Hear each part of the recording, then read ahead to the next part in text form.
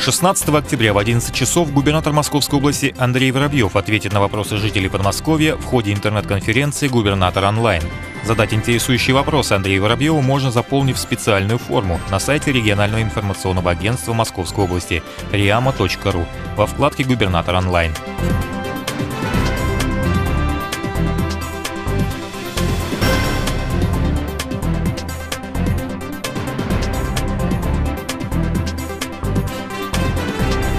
На сайте правительства Подмосковья по адресу вместе.мосрек.ру можно оставить комментарии о проблемах и недочетах в работе коммунальщиков, дорожников и других служб. На сегодняшний день на сайте уже оставили свои комментарии около 40 жителей города Видное. В основном они жалуются на некачественное оказание медицинской помощи.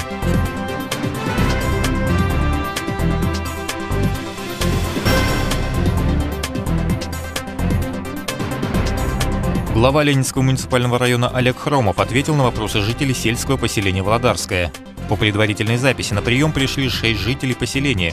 Вопросы были самыми разными. Улучшение жилищных условий, улучшение работы общественного транспорта, реконструкция детской школы искусств, расширение действующей в поселке средней общеобразовательной школы. Следующий прием жителей глава района проведет 19 октября в военном городке Петровская.